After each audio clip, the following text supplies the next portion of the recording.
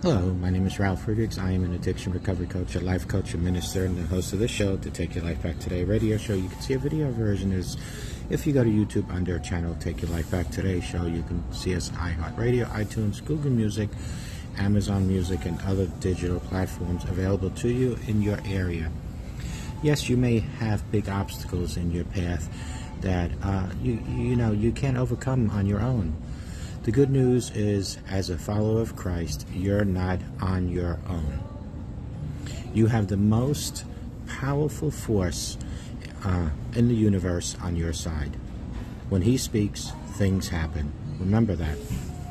Sometimes the hardest part uh, of the promise is being patient.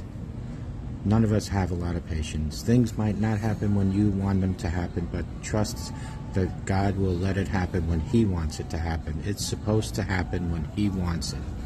So let me encourage you to go of what was and have faith in what will be.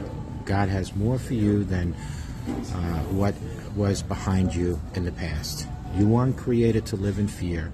You were created to live in victory. Stay persistent in your faith, prayers, and praise and patience.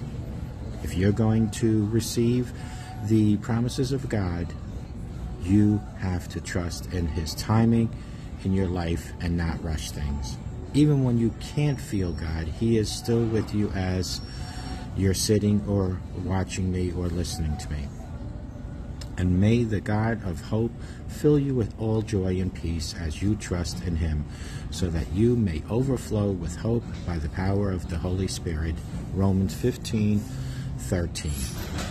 Listen, folks, call me at 844-405-HELP. Together, you and I, we you can help each other take our lives back. Be good to yourselves. Always be good to each other. Remember, simple smile to anyone can change their day, and you make a difference in your day.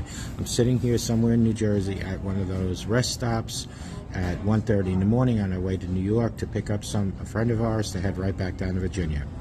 I look, look a little disheveled this morning, but that's okay.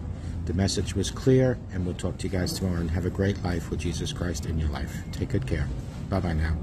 And remember, God does love you.